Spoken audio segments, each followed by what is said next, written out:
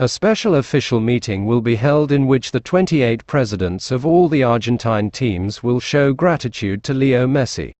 The plan is for meeting to take place and allow clubs to give Leo the corresponding congratulations individually and also jointly. It is also expected runner-up team of the World Cup 2014 is also invited for recognition and honor.